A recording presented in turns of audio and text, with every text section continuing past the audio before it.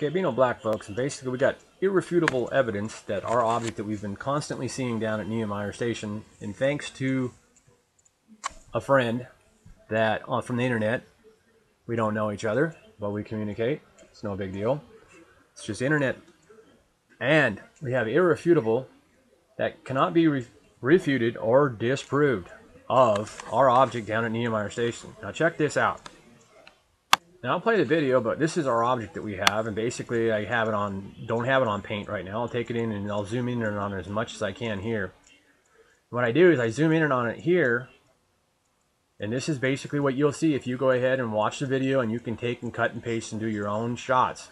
And what you'll see when I take it to paint is you'll see these stars. We already know what I've showed you about the stars.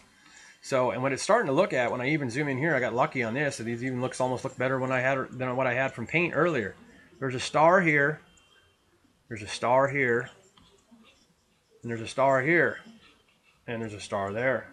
And it looks like a star there, and it looks like a star there. Now, the number one thing you have to realize is that the with our auroral being so thin at the South Pole, it's just like when I found the stars on up there that NASA was wondering what the heck that was plastic or metal on the ground, right?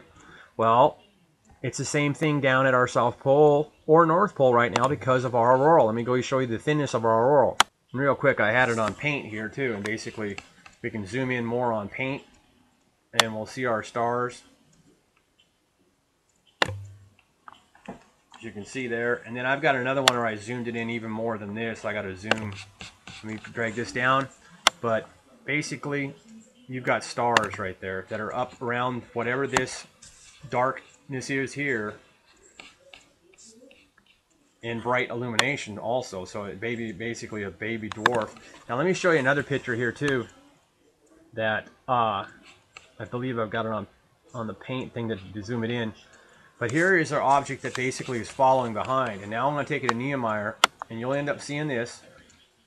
And as i scan up and you can see the roundness of it. And basically this is there. It's in the sky and I'll basically zoom down on the paint here so you realize that that's what we're looking for at is what I did is I zoomed in on this object. That's basically you'll see it straight away on and we'll zoom back in here and you'll see it at the Neumayer station video that we got.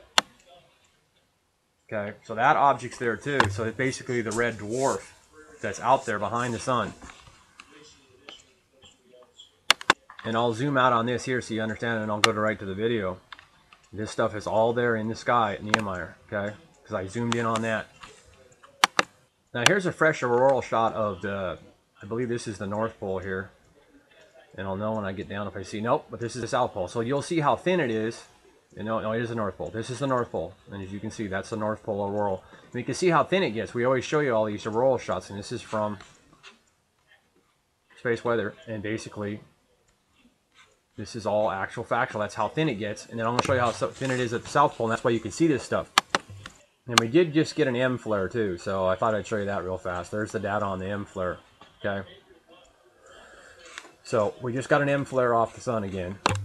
And then we'll go to Solar Artist, pop this in. And I probably screwed up and... Nope. Now, with it, the auroral being thin at the South Pole, that's why we can always see these objects very clearly down there at the South Pole and we get the right angle of shot to get caught in the webcam. And we got it caught in the webcam today. This is how thin the auroral is down there. Remember, like I said, the plastic and the metal that I proved that were stars, we know Mars's atmosphere is thin, okay? It's also thin at our North and South Pole here on Earth. And here's our magnetospheres. That's Earth, the dark side of Earth here. And that's us going through space. And as you can see, we got heated up pretty good. And I'll give a fresh shot here in a little bit. But as you see that orange that comes in in the front here, yeah, we're going through, we're doing some wild twisting. So we got that 6.5 quake in Alaska, okay? So let me show you the proof on that. And there's your information on the 6.5, and this was USGS, and then they knocked it down to a 6.2 because they don't want people freaking out, okay? Magnitude 6.5, depth 6.21 miles. And then there was a bunch of 6.4s and stuff like that. Let me go to that data too also and show you that real fast. Now always watch on full screen, and the latest quakes that's what's the latest there. But then we go down and we'll get the Alaska stuff here. As you see, a lot of stuff didn't report after it started going. And the actual factual, we'll pop in here so in case someone doesn't know how to go to full screen or didn't go to it, and if I can get it come up, we'll zoom in and we'll give it like 200% real fast. and it just refreshed, so we got our new report. So you get whatever it's coming up. It looks like it's got Turkey there listed, and then we'll get down here, and we're getting all screwed on time here a little bit on the video, so I get everything in as much as we can show you. And there's a bunch that didn't report, and we're down at the Gulf of Alaska, and you can see all this action that happened. Basically, we had a 6.5, and as you see, they didn't discount this one. 6.5, 6.5, and no matter what, we had 6.4s that were 10 kilometers deep here. And then we had one, two, three, four. And as you can see, these are in different locations here. Not far apart, but different locations. So we had plenty of, and even a 6.6 actually, at 10 kilometers deep there. So Alaska and basically USGS is softening earthquake information upon you. Yes, why are they doing that? They have to answer for what they do themselves. I can't answer that for you, okay? I think it's to keep everybody calm, which is fine. I, that's I'm okay with that. Keep everybody calm. Okay, now let's go ahead and look at what we got at Neumayer. And remember, what you're going to see is irrefutable cannot be, and then you go all the way to the beginning of the video and you'll see the same objects and you can zoom in on yourself. Now here we are at Neumayer Station and basically I'm going to step and I don't even know which way I'm going, if it's going frontwards or backwards when I first step. And I basically I stepped it forward. So I'm going to step back and you'll see our object come back. Now, the irrefutable is here because I zoom in on that object right there. And I will do that in a second here on the screen. And then I also go one more back, okay? And I'll go, as you can see that there. Now, the best thing to look at it is basically looking at it, this one here. I've showed you both ones, but basically the clouds give us a good filter to be able to see it, okay? And basically you'll know that basically this is not anything, and I'm just going to zoom in real fast at, we'll go to 400 real fast, and as you can see, pretty much you can go back and watch my videos on this video here, back it up to my paint and everything like that. I don't touch it up and mess with any pictures, okay? Because we're going to go right in here. I'm popping right back to 400 and actually, I'll just pop to 400 real fast, and then I'll zoom to 900. Okay, we got our object there. And you're gonna, you should be able to see here, hopefully, the same thing you can see when you cut and paste this and take snapshots of this. You can zoom in and you'll see the stars. And it's actual factual that the atmosphere is thin down there because the auroral.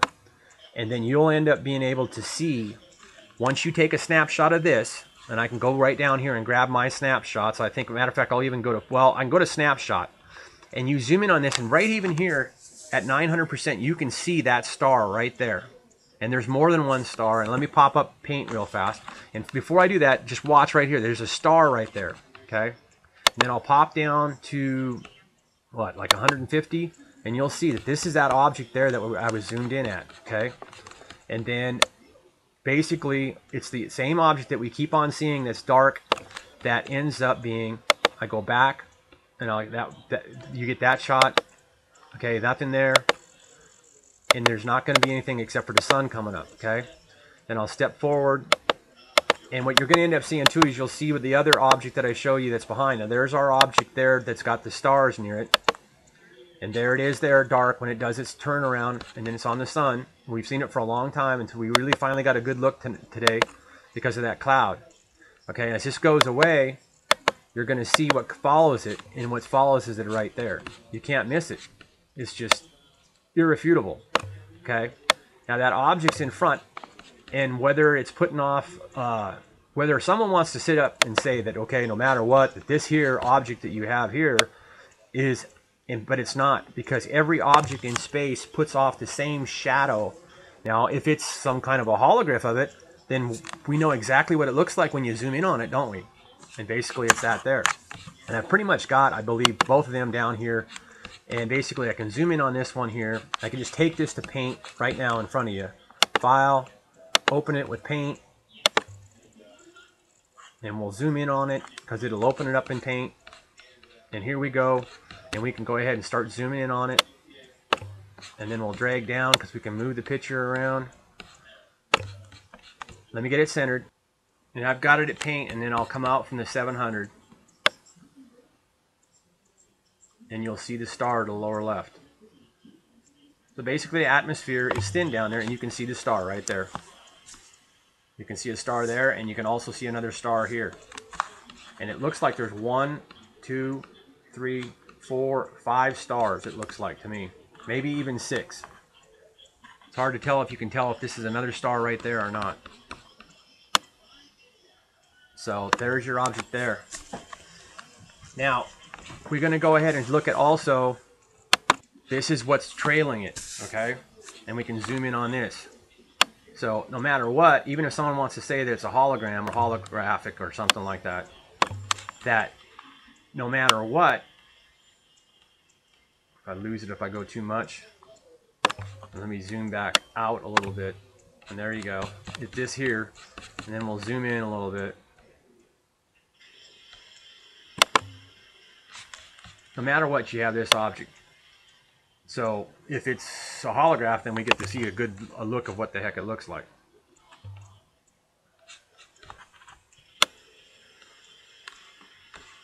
And then it just, I zoomed too far. But there's at 100, and you can see that object there. And actually, factually, I just basically, I can minus out of this, and I believe I'm going to be right back at the video. I keep minusing, and we're at the video and I come down on size and there's your object and you can take a snapshot of this here and we'll go down to 100 and there you go and that's that object right there totally visible I'll just go up to like we'll go back up to like 150 and there's that object. And then we'll back up and you'll see the cloud do the actual matter of fact I'm going to go down in size again real fast here. I'm to get to like a 100 just go back. And you're going to see the actual factual. And I'll just play it. That there's our object basically it's a planet and some stars that are in front of the sun. Down by the sun. And the atmosphere is thin enough down there you can see it and as it gets we get a nice filter through the clouds down there and you can see it and you can zoom in on that object and basically I think I can go ahead and plop it again because this is the second position as you can see if I go like this I'm actually I went the wrong direction you can see this one. This is the one you can see it the best with the stars. But I'll go ahead and give you a view of this here real fast because I opened up the video. I think I gave you the the 900 and we blew right in on the star stars you can see. We'll see what we can see this time. We'll zoom in, we'll go to the left and up upper left for corner. And we have our, I'll get over to it because we are zoomed in at, at uh, and that's not it because we are zoomed in at 900 and we'll find it here just takes a little while because we got and there it is so that there is there and you can take snapshots of that and you'll end up seeing what I've ended up being able to get like on this one here that's what I zoomed in I and I can zoom in on this shot in this and you get into that and you can barely see the stars there to the left hand side you can see those stars and then I'll zoom out. And then you can really see the stars right about that. Okay. And I'll basically just zoom all the way down, I guess, on the shot. And that's what I had. That's what I zoomed in on. And then I peeled away from that. And I think I'm back at the Meyer cameras and I'll just hit down to 125. And there you go. And that's what our object is right there. So now I'm going to go ahead and hit start. I think we have... Now just hit, I'll, if I can get it out of the way, that I can hit start and then I'll just hit play. And then you, you can watch the timer and you can see for yourself that all this stuff is actually there.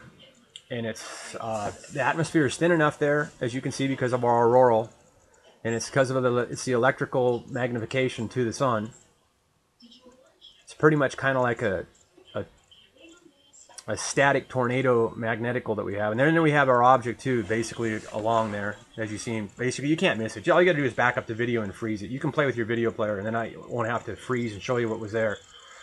Then as you can see, there's some other object that gives us a massive uh, shadow down there at Neumayer Station. There, then it starts to go backwards. I don't know if I've had it playing backwards, if I had it playing backwards. So, and yeah, what they did is they gave it to us backwards this time basically I'm backing up right now. I finally got it to go play forward. So they played it to us backwards this time.